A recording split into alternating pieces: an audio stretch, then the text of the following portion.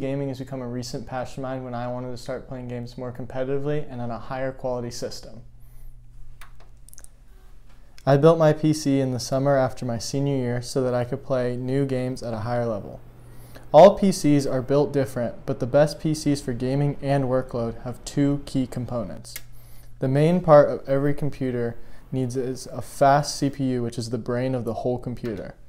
Then, a graphics card is needed to handle the processing of modern video games so they look crisp and fast. The average PC for modern gaming usually costs between 6 and $800 but high-end computers can cost upwards of $3,000. All in all, PCs building is not only about functionality, but also creativity and passion.